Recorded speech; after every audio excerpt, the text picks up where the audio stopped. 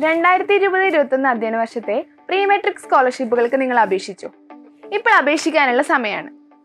Muslim Christian മതവിഭാഗത്തിൽപ്പെട്ട ഒന്ന് മുതൽ പത്താം ക്ലാസ് വരെ പഠിക്കുന്ന കുട്ടികൾക്കാണ് ഈ സ്കോളർഷിപ്പിന് അപേക്ഷിക്കാൻ സാധിക്കുക.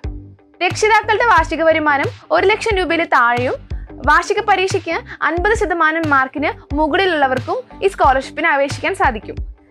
ഓൺലൈനായിട്ടാണ് സ്കോളർഷിപ്പിന് അപേക്ഷിക്കുക. പുതിയതായിട്ട് സ്കോളർഷിപ്പിന് അപേക്ഷിക്കുന്നവരാണെങ്കിൽ ന്യൂ യൂസർ എന്ന സ്ഥലത്ത് ക്ലിക്ക് ചെയ്യാം എന്നിട്ട് അവിടെ ആണ് ആപ്ലിക്കേഷൻ പൂരിപ്പിക്കേണ്ടത്. എന്നാൽ കഴിഞ്ഞ പ്രാവശ്യം ആപ്ലിക്കേഷൻ കൊടുത്തവരാണെങ്കിൽ റിന്യൂവൽ എന്ന ഈ ബട്ടണിൽ ക്ലിക്ക് ചെയ്താൽ മതി.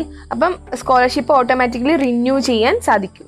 ഇപ്പൊ സ്വന്തമായിട്ട് ചെയ്യാൻ ബുദ്ധിമുട്ടുള്ളവരാണെങ്കിൽ നമുക്ക് അക്ഷയ സെന്റർ വഴിയോ അല്ലെങ്കിൽ ഏതെങ്കിലും കമ്പ്യൂട്ടർ കഫേ വഴിയോ ചെയ്യാം. ഇനി നമ്മുടെ പ്രീമെട്രിക് സ്കോളർഷിപ്പ് അപ്ലൈ ചെയ്യാൻ പോകുന്നതിന് മുൻപേ നമ്മൾ കയ്യിൽ കരുതേണ്ട എന്തൊക്കെ സാധനങ്ങളാണെന്ന് നോക്കാം. ഒന്നാമതായിട്ട് കഴിഞ്ഞ വർഷത്തെ മാർക്ക് ലിസ്റ്റ് ആണ്. ഇപ്പൊ ഒന്നാം ക്ലാസ്സിൽ പഠിക്കുന്ന കുട്ടികൾക്ക് അത് ബാധകമല്ല. രണ്ട് ആധാർ കാർഡ് അതോടൊപ്പം റേഷൻ കാർഡും കൂടെ കരുതണം. ഓൺലൈൻ ആപ്ലിക്കേഷൻ പൂർത്തിയായി ലഭിക്കുന്ന ഫോമിന്റെ രണ്ട് ഫോട്ടോ കോപ്പി കരുതുക.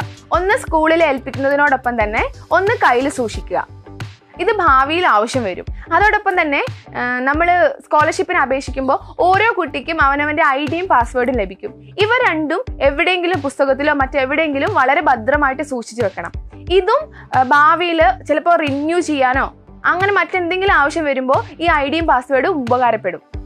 ഇതോടൊപ്പം കൂട്ടിച്ചേർക്കാനുള്ള ഒരു കാര്യം കുട്ടികളുടെ സ്വന്തം പേരിലുള്ള ഒരു ബാങ്ക് അക്കൗണ്ടാണ് ഇപ്പൊ സ്കോളർഷിപ്പുകൾ ലഭിക്കുകയാണെങ്കിൽ മാതാപിതാക്കളുടെ ബാങ്ക് അക്കൗണ്ട് നമ്പർ കൊടുത്താൽ സ്കോളർഷിപ്പ് ലഭിക്കില്ല. സ്കോളർഷിപ്പിന്റെ കാര്യത്തിൽ മാത്രമല്ല മറ്റ് പല ആവശ്യങ്ങൾക്കും കുട്ടികൾക്ക് സ്വന്തം പേരിലുള്ള ഒരു ബാങ്ക് അക്കൗണ്ട് നിർബന്ധമാണ്.